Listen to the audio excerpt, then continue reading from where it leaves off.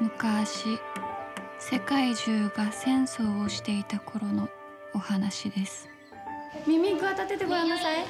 珍しいトリッカーの声がしますよ。今度虹の裏に駐屯する部隊の策であります。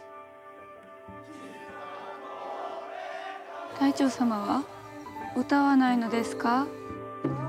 あんな歌よりもこの島の歌をたくさん覚えたいな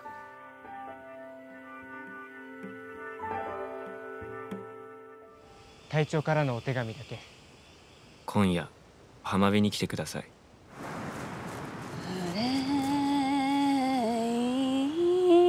隊長様。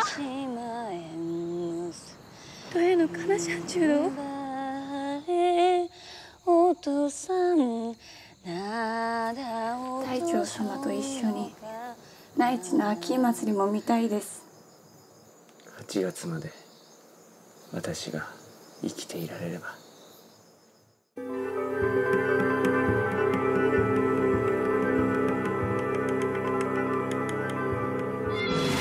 敵が来る。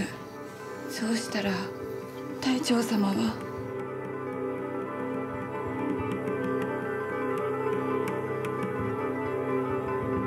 先生とうとう隊長が行かれます戻れ戻れ戻れ戻れ